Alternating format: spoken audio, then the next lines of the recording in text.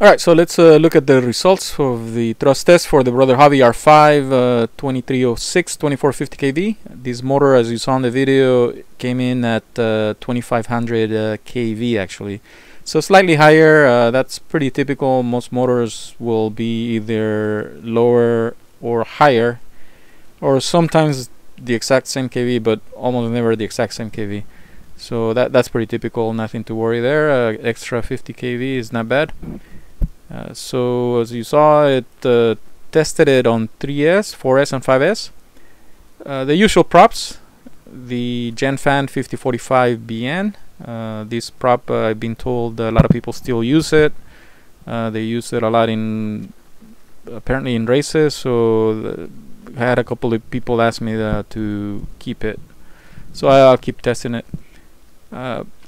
so 1324 it clears 1300 grams pretty easily at uh, very manageable amps uh, 34.6 so that's that's pretty good. Uh, remember that these are max numbers so um, momentary max. So uh, and also static. That's why the amps uh, look pretty high but you know don't don't let that scare you. These are just momentary max on a static uh, thrust. So basically in the air uh, usually about 30 to 35 percent lower on the amps uh, when you fly. Uh, you'll see only uh, about a third less than that. So so around 24 20 amps for that. Uh, just multiply this 35 times times 0.7 for a conservative figure or times 0.65 and you'll get your max amps. And those are still gonna be burst so those are not sustained. So so keep in mind a lot of uh, most ESCs will have a, a, higher burst rating than what they're rated at you know. So for instance a 20 amp ESC may have 25 or sometimes 30 the really good ones have about 30 amp uh, burst uh, for about 10 seconds.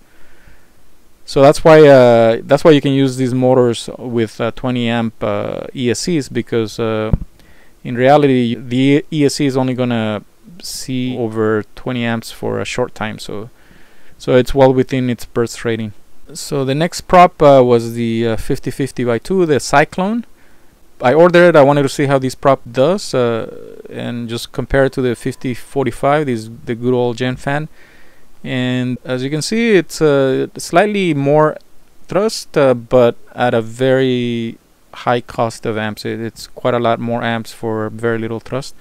This is on static, so right here it, it doesn't look that good, but in the air, the high pitch might come into its own. It might be an advantage over 5045.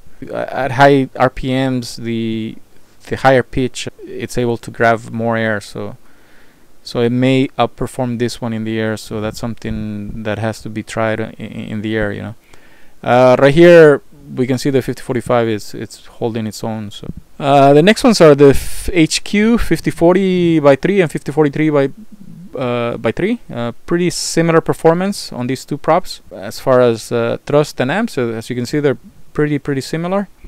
So most people are using this 5043 by 3 right now uh, because it's it's a little bit more durable and basically you're getting the same performance as the 5040 by 3.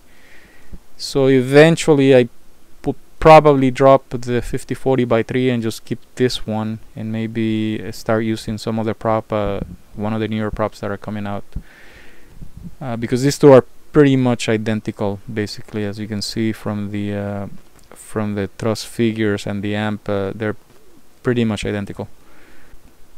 So these three props actually are pretty much the same as far as amps and thrust are concerned. Uh, of course uh, once you're flying them the, they may have different uh, flight characteristics. So so I've flown the 5045 by 3 and uh, it feels pretty good a little bit more punch than the 5040 by 3 so which is this is my favorite prop uh, still to fly so then we move on to the 6 inch props and here we can see the motor uh, still making some thrust and uh, of course uh, amps uh, increase accordingly pretty pretty manageable still, I think, uh, on six inch.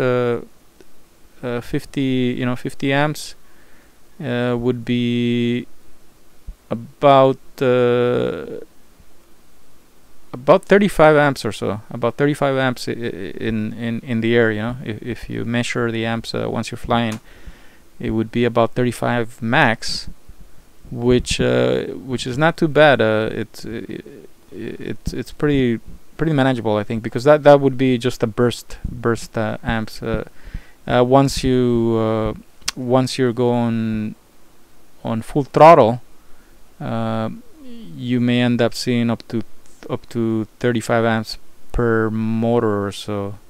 So that that if if at all, you know, it could be even less. Uh, you know, the, uh, I guess people uh, when they have a amp a current meter on their on their quad uh, I've seen some people pulling maybe 100 120 amps uh, just burst uh, for a little bit.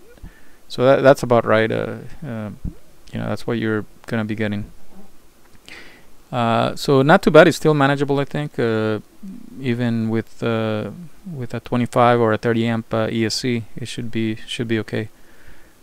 So as we can see this motor is actually uh, pretty efficient. It's not uh, pulling some crazy amounts of amps. Uh, it's pretty pretty good and doing pretty well on on on thrust. Um, again, uh, right here the amps are appear to be really high, but in reality, uh, once you're in the air, this is going to be a lot lower. Oh yeah, one more prop on 5S. this 5043 by 3, 1874 at 51 amps. also pretty pretty good. So that that would be about about 35 amps too, uh, max. So uh, you probably want to have a, a 25 to a 30 amp uh, ESC for that if you want to do 5S, uh, just to be on the safe side, you know. So okay, uh, that's uh, the thrust results.